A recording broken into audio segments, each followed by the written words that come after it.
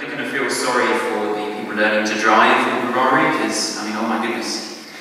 Um, you know, the driving instructors had their feet up on the dashboard, beer in hand, not care in the world, there's chaos going around them. But no, it was an amazing place, I had a wonderful time. This is my little tribute to it. It's called Harare.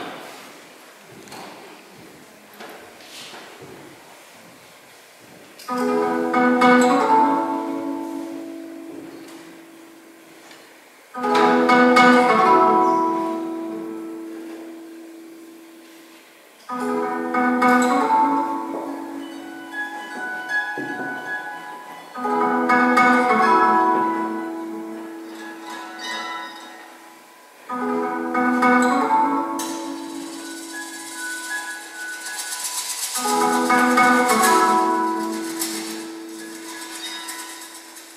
Música